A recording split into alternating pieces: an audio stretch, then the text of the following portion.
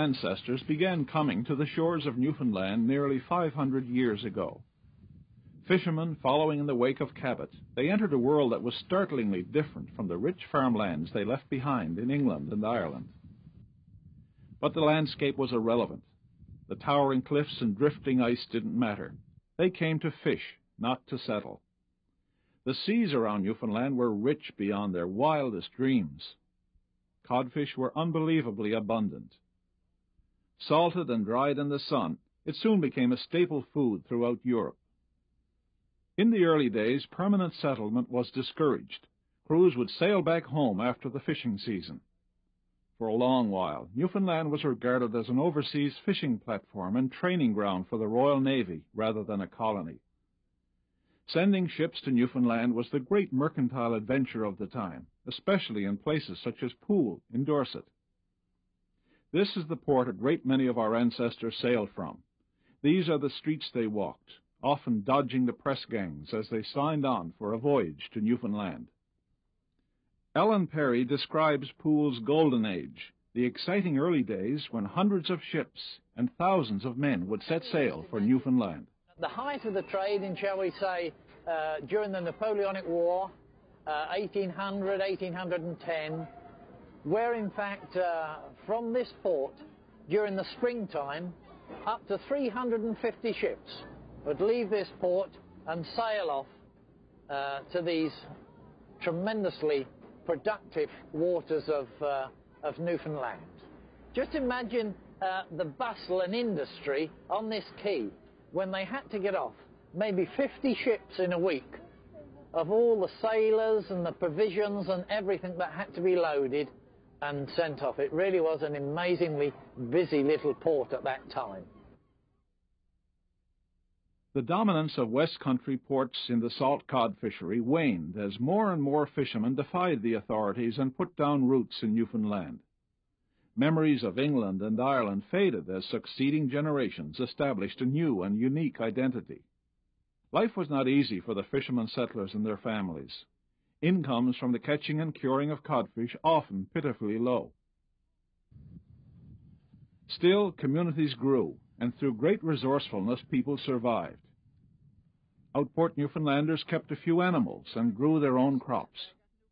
They built their own fishing vessels and homes and they made their own furniture.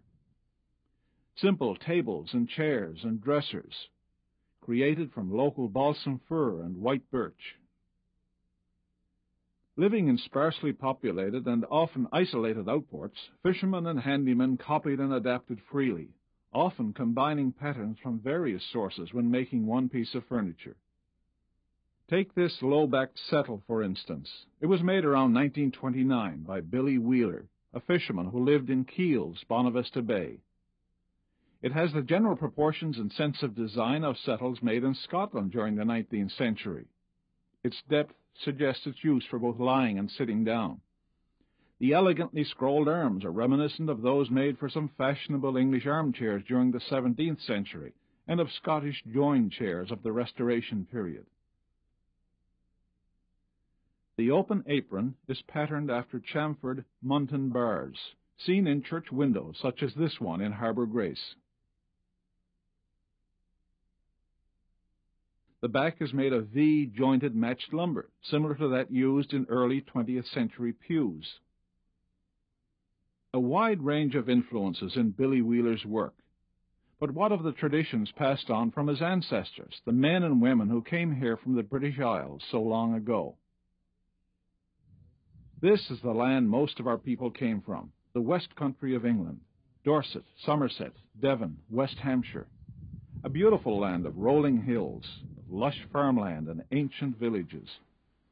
Dr. Gordon Handcock is an authority on the movement of people from England to Newfoundland. Dorset is one of the principal counties of origin of English Newfoundlanders, particularly along the northeast coast, and Notre Dame Bay, Bonavista Bay, Trinity Bay, Conception Bay and along the south coast. I was involved in the fishery for a long period of time, and people decided to stay over there. You consult any name lists from uh, even current phone books or signs in shop windows and so on, you'll find uh, the compatibility with uh, Newfoundland names, particularly up in the Blackmore Vale and Sturminster Newton, which uh, names up there read like a telephone book of Twillingate or, or Grand Bank. Well, they came from virtually all uh, branches of uh, Dorset society, the mercantile class, the trading class, and the labouring class, from farms and quarries, and uh, out of market towns, sons of butchers and uh, tinsmiths and blacksmiths and carpenters and masons and uh, all the trades, uh, but the bulk it would have come from the labouring classes of both the market towns and from the farms. Dorset today, cars and trucks wend their way through narrow ancient streets. Thatched roof cottages survive, and so does market day, when farmers and peddlers set up booths and ply their wares. This is Sturminster Newton, where a great many Newfoundlanders trace their ancestry.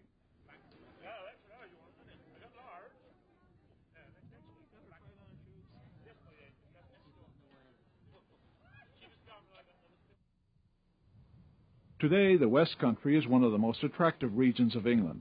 Pretty villages, scenic countryside. But this ancient and beautiful land was not such a good place in which to live back in the 18th and early 19th centuries at least not for the working classes. It was a time of unrest and social upheaval. The ancient rural way of life was being eroded by the industrial age. Living conditions were wretched, and many of our ancestors left to escape the grinding poverty of rural life in Old England. The furniture of the working class at the time was simple, basic, functional. John Walker of Dorchester is a dealer in West Country furniture because of the, the social conditions of the time, um, most people, most farm labourers and, and, the like, moved around fairly frequently, almost on an annual basis. So although these uh, these pieces um, were finally collected from uh, the Blackmore Vale district, they could have been made anywhere in the West Country, but they're more, more than likely Dorset pieces. Um, they'll illustrate the, um, the very simple techniques that were used to make quite um, utilitarian but useful furniture. Um, and the sort of things that don't often survive because they were never valued as, um, say, great works of art by their original owners, nor by collectors until almost our own generation. They fall into a pattern of furniture making which has its roots um, probably in antiquity, but certainly um, surviving pieces from the Middle Ages are constructionally very little different. The most primitive uh, form, if you like, from the uh, construction point of view, would be this uh, simple stool, which, as you see, consists merely of a, a substantial slab of wood with uh, four simple legs, just literally um, driven into uh, into holes drilled in it. Um, sort of thing that's certainly existed um, since time immemorial in the West Country, probably all over Britain and the sort of thing that could be made by someone with um, minimum uh, tools at their disposal and really requires um, a minimum of skill to produce. Yet the fact it's still with us after maybe um, 170 years of use must show that um, it is a, uh, a useful and robust form. Country furniture, simple and sturdy, furniture our ancestors would have made and used before they sailed away to a new life in a new land. Though homemade with the simplest of tools, some old West Country furniture shows flair and style. Michael Legg, another antique furniture dealer in Dorchester, is particularly proud of this stool, made about the time our people left for the New World. Uh, because it's wonderful character and marvellous colour and, and surface patina, would be considered a highly desirable and therefore a very valuable thing. This one has got enormous character, and I'm certain that when this was made, that they didn't consider the knot to be a blemish, but was part of the character of the wood. And of course, usually in timber, by the side or around a knot, you, you get an interesting figure, as we have here, this rippling uh, in the wood. The, the, seat is, is elm. If we can see what the legs are and the legs are ash. Ash is a resilient, uh, springy type of wood and therefore could be cut into quite small section and still be strong. The usual type. These exist in today in quantity, but uh, this is a rarer type. I suppose now the people who went out to Newfoundland would have would have used whatever local wood was available. Whatever was available, and used very basic furniture making techniques such as riving or splitting, um, planing, sawing, and usually finished with either linseed oil or varnish. Are these skills gone now? That, no, um, there are still a few old people practicing, and young people are taking it up. It's known as green wood furniture because this would have been made uh, when the wood was green. It was softer and easier to work. Homemade furniture from the old country, traditional styles and patterns that would have been remembered by our ancestors and perhaps continued in the New World. However, not all Newfoundland outport furniture was homemade. Many items show a standard of skill and knowledge of design which suggests they were made by trained woodworkers. This Newfoundland kitchen dresser, for instance, is from Trinity East. Made from balsam fir about 1840, its design is closely similar to a particular group of dressers made in Dorset about the same time. When the Newfoundland dresser and this example from Dorset are compared, the transmission of design from skilled tradesmen in the West Country to the earliest major settlement in Newfoundland is clearly illustrated. This is not surprising. During the late 18th century and early 19th century, British shipwrights, joiners, and carpenters were brought to Newfoundland by the well-to-do fish merchants to construct and repair their fishing premises and vessels. It's most likely these tradesmen made furniture as well. Trinity Bay dresser was most probably made by such a migrant Dorset tradesman. Not all Newfoundlanders are rooted in the west country of England. Many would feel more at home here in southeastern Ireland. The faces seem familiar. The names are the same as in parts of Newfoundland, especially on the southern and Cape shores. And it's not surprising, for a great many of our ancestors sailed from the quay here in Waterford. The English ships en route to the Newfoundland fishing grounds would put in for salt pork and other provisions, and to top up their fishing crews with Irish youngsters. Many came from the surrounding farms and villages where it was difficult to scrape a living in those troubled times. Like our West Country ancestors, most would have not had any special training in woodworking or furniture making. Furniture in an Irish cottage at the time would have been made at home or by the local handyman. Country furniture is of great interest to collectors such as Met McNulty, for they reflect the lifestyle of the time and the Irish Newfoundland connection. Uh, the first of these is the, the, the fairly common cradle. And the thing that distinguishes this cradle and some of the cradles that are found in Newfoundland is the position of these rockers here at the end. And what happened was that the, the woman would attach a piece of string or cord or rope to the end of the cradle. And when she got into bed, uh, she would be able to pull the rope and rock the cradle without getting out. Now, it's also part of the construction of the cradle and you can see almost identical examples to this uh, in the collection of furniture in Newfoundland. The second item we have here is, is a chair, a little simple stick-back armchair made for a child. And again, the construction of this and the design of this is very similar to the furniture which occurs in Newfoundland. And this shows the continuity, if you like, of the, the craft tradition from the uh, southern part of the United Kingdom from the southeastern part of Ireland, which were brought across the ocean to Newfoundland by your early settlers. And these are part of the remembered items which they brought with them the cradle and the child's chair. While some items of Newfoundland furniture have an overall design similar to examples in the British Isles, others, such as this rocking chair, have only decorations which suggest an Old World connection. The hand-whittled painted armchair on rockers was made from balsam fir by Michael Morrissey of Harbour Grace, Conception Bay, around 1915. The rope twist carving is a nautical reference and was often used by carpenters in the coastal towns of southern Ireland to embellish furniture.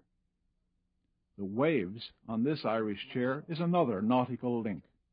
This chair is from the west of Ireland, which uh, experiences the Atlantic Ocean.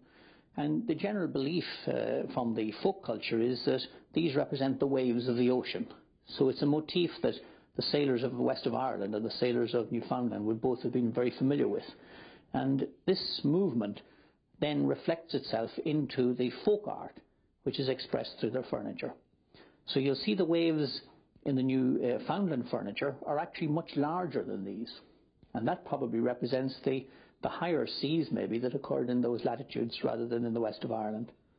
But it is a link again in the cultural chain uh, which unites the furniture of Newfoundland with the, with the furniture of the west of Ireland and with the furniture of the south east of Ireland. Another decorative feature commonly noted in Ireland is the heart. The heart decoration also appears on a number of carved and painted Newfoundland items in the Roots exhibition. This colourful wall hanging box is one example. Many motifs, including the heart, can be traced not only to Ireland, but to other Celtic areas as well, in Cornwall, Wales, and Scotland. These motifs include the recurring Celtic decoration of a spiral of teardrop shapes. Other designs include hearts, diamonds, or lozenge-shaped devices, and compass-made embellishments, which are often used in combination with chip-carved motifs. The delightful thing about regional furniture, and particularly the furniture of Newfoundland, is the further away you get, like you are, from the mainstream influences of continental Europe and the United Kingdom, the more the uh, artistic efforts of the craftsman flourishes. So in looking through your furniture, you see these magnificent scrolls and curves that are in the furniture, and this is pure artistic expression. And this is what makes Newfoundland furniture the property, the cultural property uh, of Newfoundland. And that's why it's so important to people like me who, who study furniture, because uh, here is the element that is uniquely Newfoundland. So you have the skill of the carpenter, you have the remembered items that they've brought with them from the old country, you have the available materials in terms of the wood that was available to them, and the final ingredient which makes you unique is the ingredient of the imagination of the craftsman himself, unconstrained by the rules back home, if you like, in the UK or in continental Europe. So he allows himself a lot more self-expression in the furniture, as we did in Ireland, as you did even more than we did in Newfoundland. That's the joy of the whole thing, that's the important social and cultural aspect of it. Newfoundland outport furniture of the 18th, 19th, and early 20th centuries.